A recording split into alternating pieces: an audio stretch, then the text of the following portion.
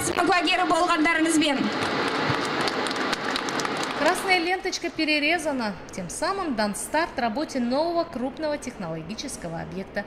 Мерный гул вокруг только подтверждает, все механизмы работают исправно.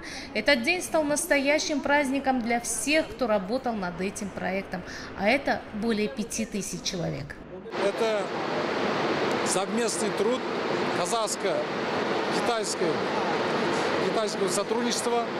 В результате модернизации мы теперь имеем возможность выпускать бензины высокого качества по международным стандартам Евро-4, Евро-5.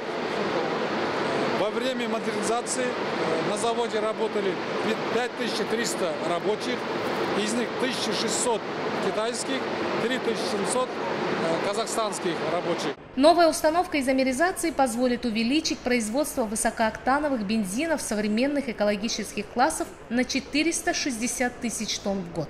Специалисты отмечают, это позволит значительно оздоровить экологическую обстановку в городе. У нас снижается содержание канцерогенного бензола, значит улучшается экологическая обстановка в городе ЮКО, и, и значит вырабатывается больше высокооктанового бензина.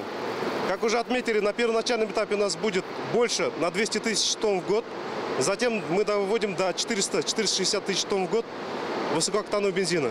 Напомним, в апреле 2017 года министр энергетики Республики Казахстан Канат Бозумбаев поставил срок к июлю 2017 года обеспечить выпуск высокооктановых бензинов. Завод эти сроки выдержал и даже получил сертификат качества на первую партию продукции. Планируется, что второй этап модернизации предприятия завершится в сентябре 2018 года.